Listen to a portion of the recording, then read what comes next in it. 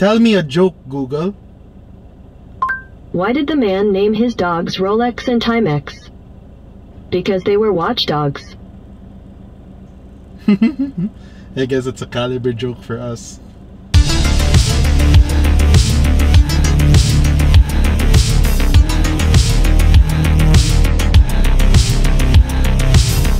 This is the Ford Ranger FX4. A lot of you have been requesting this review. You know, ever since Ford launched, you know, their the Ranger Raptor and the new Wildtrak, using the new engines such as the 2-liter bi-turbo and the 2-liter turbo. What a lot have been asking about this car is, Nix, this car is still using the 2.2-liter engine from before and it's also using the 6-speed transmission from before. Unlike the new ones, especially in the Wildtrak and on the Raptor, they're using 10-speed auto. To answer that, like in my opinion, the nice thing about it is that we still see those Ford Rangers, you know, with the 2.2 liter engines out on the road. You know, and they're doing just fine. Which means that yes, it's old tech, but it's good tech. This new Ford Ranger FX4 uses the 2.2 liter turbocharged diesel engine that we're familiar with before and this engine produces 160 brake horsepower and 284 pound-feet of torque. So even on such a small engine, it's a really powerful car. So I was looking, you know, in our buyer's guide, like, you know, the other trucks at this price point. What surprised me was, if the other trucks in this category, so it's the 4x2 priced at, uh, well, this one at least is priced at 1.316 million pesos. Pickups at that price category it's going to be 4x2. It's going to be using the smaller engine. They're not as equipped as this car.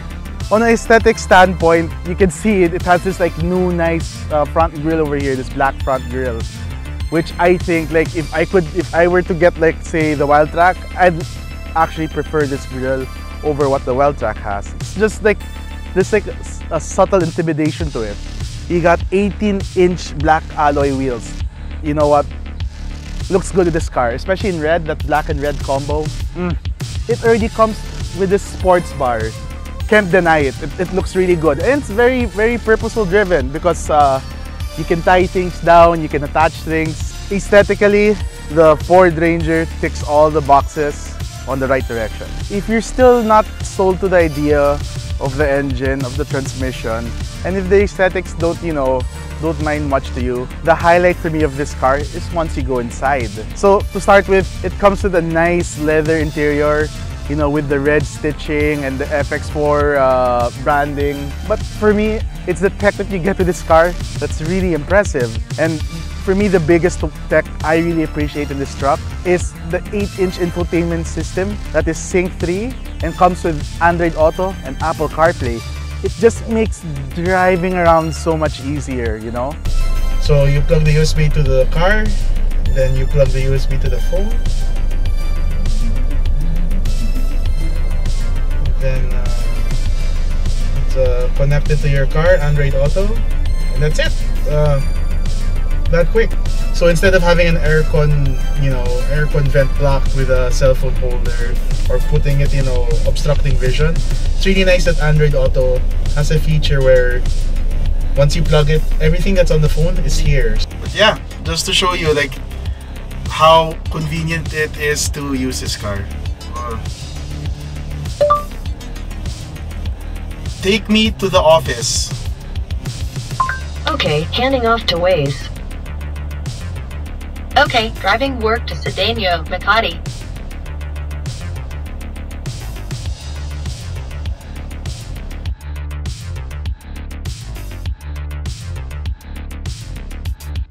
Let's take E2, Skyway North. Make a U-turn, then that, turn right. That's how convenient this car is, just to show you the many things you can do with this car. This truck also comes with the backing sensor, thank God, because you know, with a truck this size, you want you want help when reversing. Now for driving impressions with the Ford Ranger.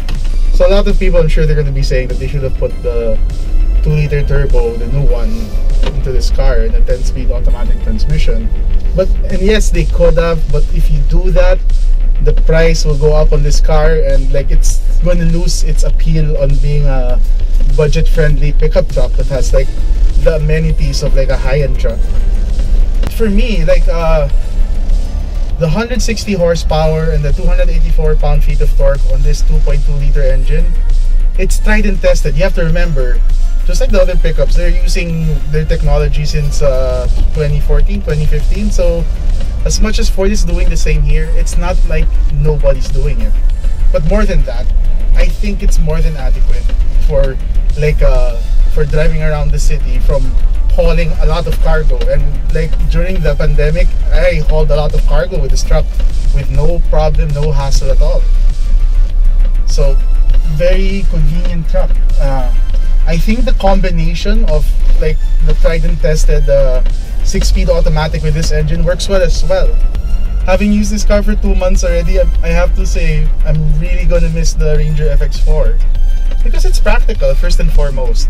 But more than it's practical it just makes daily driving like a, a pleasant occasion you know? Instead of like you know okay you get into the pickup and then you know it's it's so bare bone and like you know it's so like oh i'm just a tool. This isn't. It's like yes the pickup is a tool but once you get in and start driving you forget that you're in a toolbox. You're you start to feel like you're in a a vehicle that's meant to drive you around whether it's nearby or out far you know? And and for most situation 4x2 is all you're ever gonna need especially if you're not you know going up a mountain or you know you're not going through like a off-road trail. The 4x2 does more than enough for the job But where the FX4 truly shines in its lineup is what you get out of it with the amount you're spending. So who should buy the Ranger FX4? Well, it is for those who are budget conscious but are willing to spend a little bit more as long as every peso that you put in it counts. And with what you get from the Ford Ranger FX4, it ticks all the boxes of what makes a pickup practical, really good looking, and convenient inside and out without being overtly expensive.